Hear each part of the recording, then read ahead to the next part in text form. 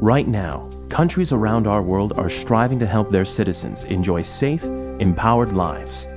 Trillions of dollars and years of hard work have been spent trying to eradicate poverty and ensure a bright, sustainable future for all.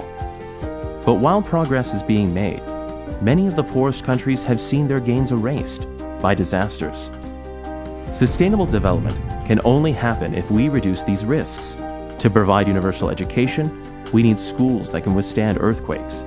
To achieve zero hunger, we need to protect crops from drought.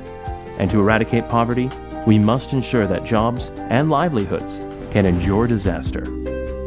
Development must be smart, with every decision based on an understanding of risk, and every effort made to prevent, mitigate, and prepare for disasters. By being risk informed, we will save money, resources, and most importantly, lives. But while it can be simple to build one house or one bridge safely, how do we make sure all the houses and all the bridges are safe? This takes laws, policies, and an all of society approach, including engaging with civil society and the private sector.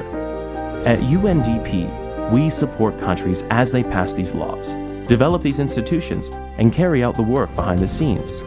This helps turn this into this.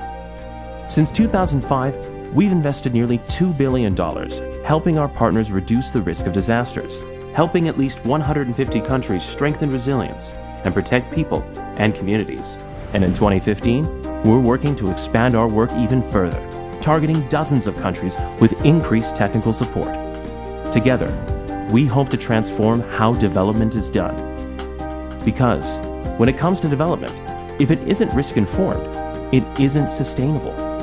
UNDP, supporting risk informed, sustainable development.